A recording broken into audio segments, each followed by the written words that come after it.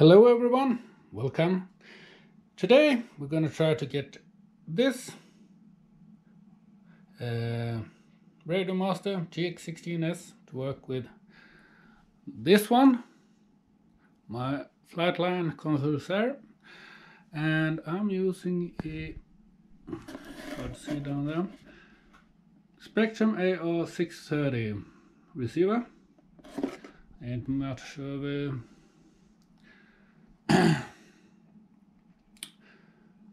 videos out there telling us about this.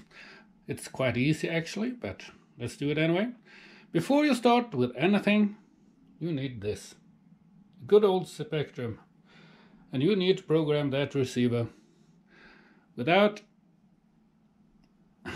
that, you can't get this one to work. Because the OpenTX is not ready to program yet. Once everything is set up, um, we can proceed with this one. And uh, I'm gonna get my stand ready somehow. Or maybe I should try to hold this gold probe by hand. Let's start by holding it. First thing we need to do is to create a new model. And I'm not entirely sure how to do that. Let's try this one. No. This is the second time I'm trying to do this, so it's not, so bear with me, please. Uh, model select, perhaps?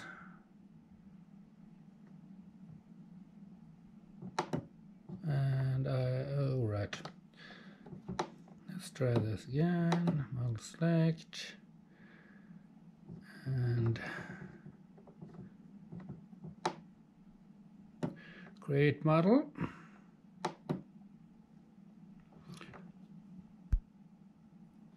and it's a plane. We got an engine and I'm using this at default aileron elevator throttle rudder mode AETR so I'm going to use channel 3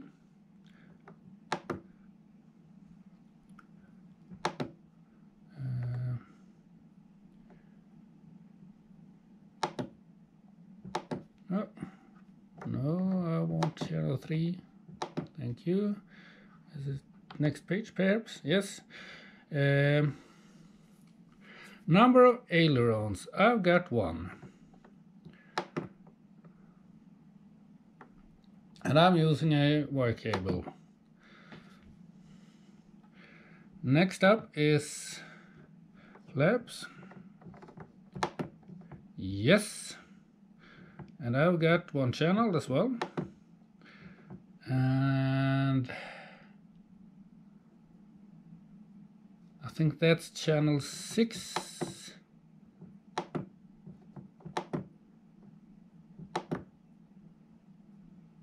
I'm not entirely sure. First time. And oh well let's try this again and I'm gonna leave that as it is. I'm not uh, sure about these uh, flaps though but we'll leave it as it is.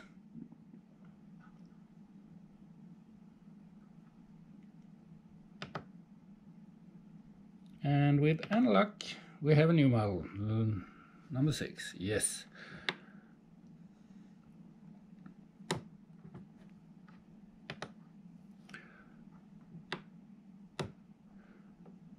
I will leave the name for now.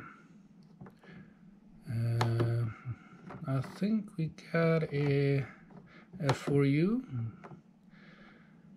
And, uh, well, all we need now to do is to go down to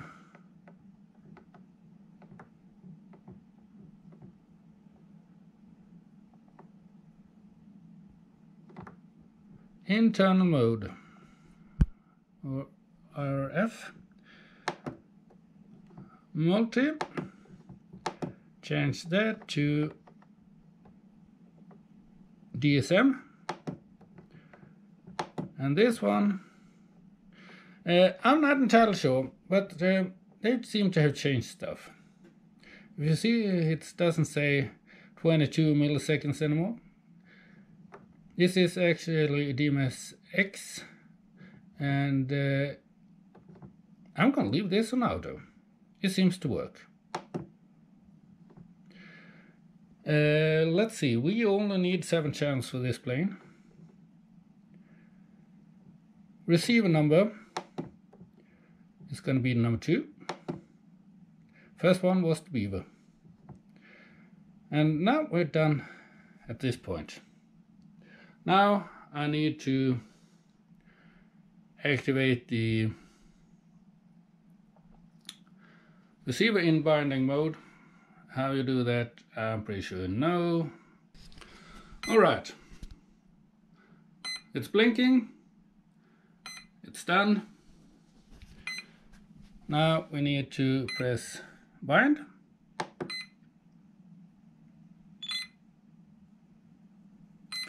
X2F AETR.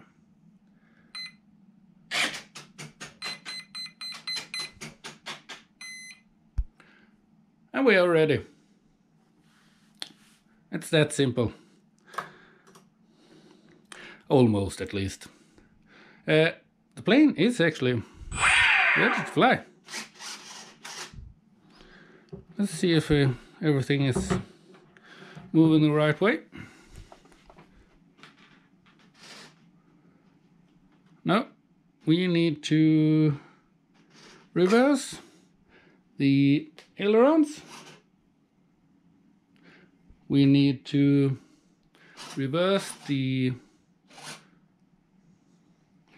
elevator and how about the rudder?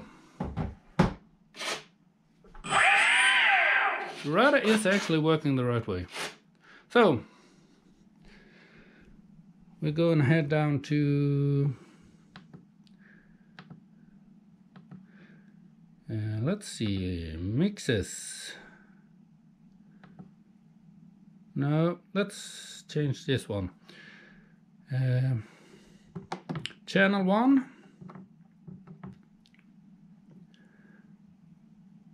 I think that's the elevator. And now it's moving the right way.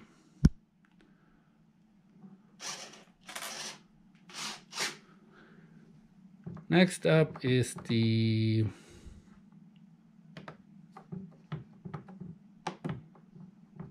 elevator. Let's change that one.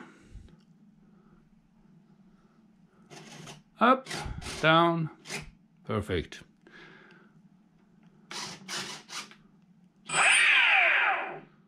And the engine is running the right way and yeah.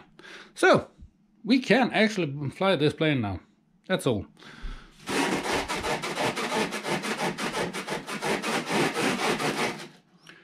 We don't have the actual setup for the uh, safe and so on. So I'm going to press sys and DSM forward programming. And this is why we can't use... Uh, before I actually made this to work, I had to update the uh, OpenTX and I had to update the firmware for the module. When I received this receiver two days ago, three days ago by now, uh, it's uh, had uh, OpenTX one, uh, one three, is it two, three? I don't know. Uh, it's an old version at least. And I had to update everything to get this to work. It told me he couldn't find a suitable receiver, and that's not. If the multi-protocol module can't read it, it's not surprising. Anyway, as you can see, we get plenty of unknowns in these menus. That's why you can't use it program. And the only thing we actually need is this flight mode setup.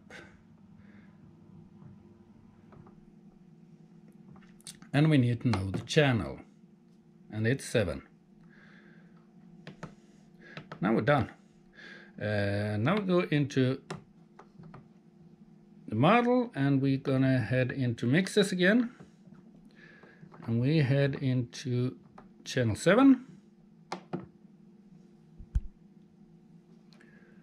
And let's call it mode perhaps.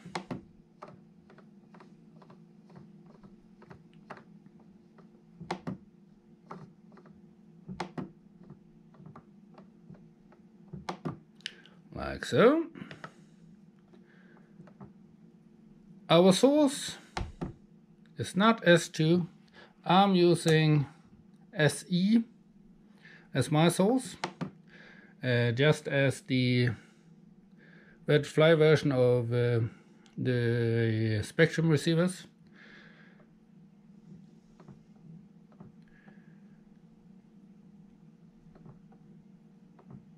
And I think that's it.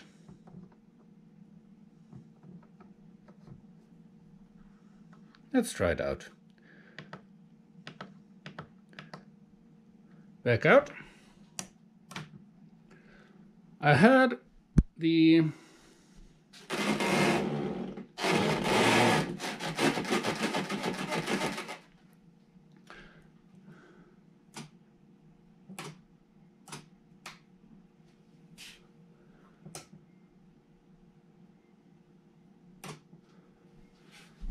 So let's see if we can see how it's moving.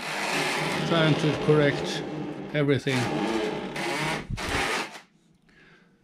Now we got safe activated. Just by flicking this switch. Now we got AS3X.